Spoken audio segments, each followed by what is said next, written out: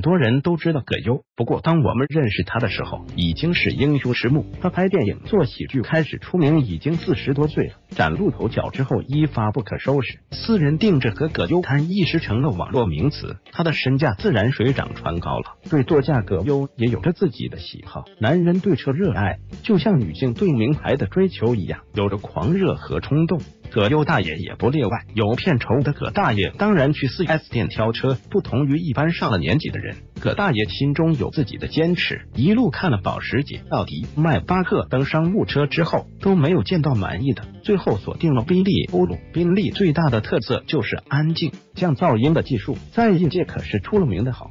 所以宾利都是商务车形式，舒适、安稳、宁静。不过这台宾利欧陆却非常拉风，而且很抢眼，一眼看去是非常有运动感的跑车。大器晚成的葛优选择这样的车，鼓励里还是流淌着激情。这款车的性能上。绝对能吓你一跳。六点零 T 加 W 幺二在超跑界算是佼佼者了，零到一百公里的加速时间是三点七秒。而葛优的激情绝不是体现在宾利欧陆身上，后面又陆续买了好几辆车，其中越野车也是他的最爱，经常出现在观众面前。就是 Jeep 牧马人 Rubicon 和路虎卫士幺幺零，可以看见葛大爷是非常追求汽车性能的，还有本身对越野的情怀。